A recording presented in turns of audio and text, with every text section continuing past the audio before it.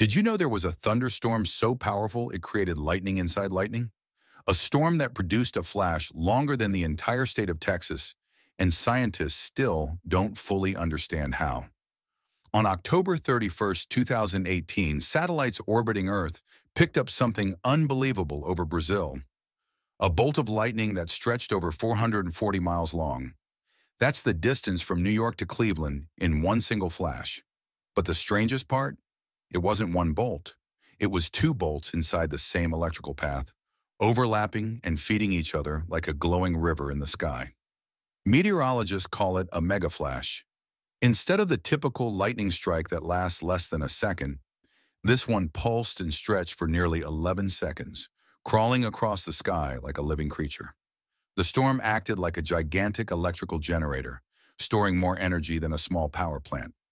It pushed lightning to the limit of what scientists believed was physically possible. These megaflashes are so rare and so large that no human on the ground could ever see the whole thing at once.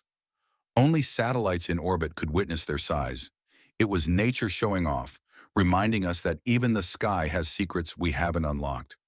So the next time you hear thunder, imagine a bolt of lightning long enough to cross multiple states. A reminder that above us, nature still breaks its own rules.